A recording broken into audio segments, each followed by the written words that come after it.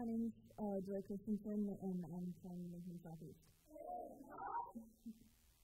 um, I'm reading a letter to my parents, age 10. In school, I was bullied and picked on me because of how I looked or how I acted, but I was picked on. I came home crying and no one heard. I stood on my bike like a cheese on a grater getting ready to get shredded, and no one cared. But why did I deserve this? Because of my behavior, what kind of genes I got.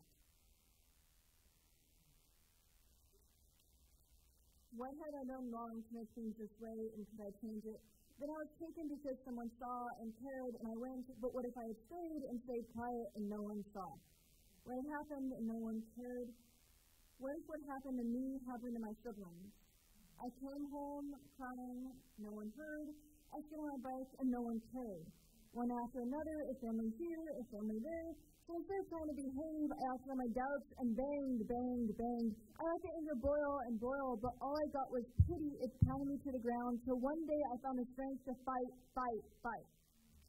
Maybe it should have kept me home and locked away, but maybe it was better this way that I left and was taken away.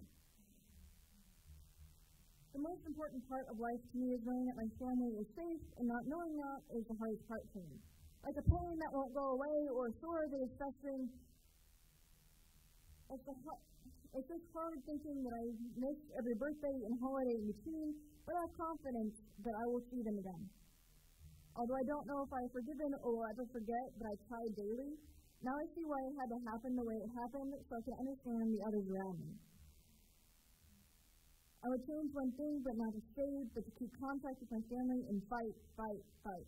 But if I had, I wouldn't have met the people that I have met, and it'd be all for nothing. So I guess what I'm trying to say is I am a foster kid, but I also was one, and I'm proud of it.